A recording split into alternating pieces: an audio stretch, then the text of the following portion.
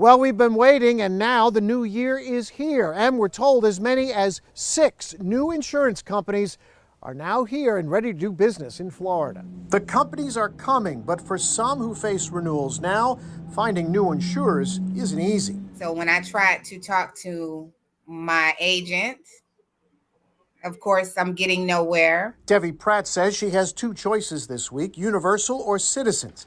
Six new companies, though, are now poised for policies in Florida. They are Tailrow, Mainsail, Orion 180, Orion 180 Select, Orange, and Condo Owners Reciprocal.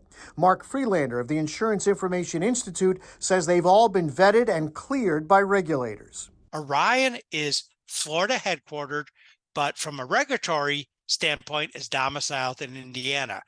Not that unusual where you're domiciled in one state, you have headquarters in another. The new companies are part of the plan Republicans have laid out in the Capitol after passing reforms on fraudulent lawsuits. The hope now is to get new companies in to compete and ultimately lower premiums, especially now in the winter months. They're, they're fighting a, a market in Florida that has a lot of demands on it.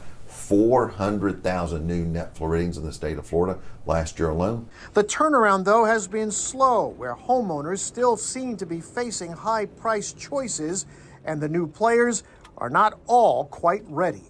We do have confirmation from some agents that Orange Insurance has opened for business. They are writing policies and have started to appoint independent agents across the state. So, while not all six insurance companies are writing policies right now in Florida, Mark Friedlander tells us the plan is to have all six writing policies here by spring.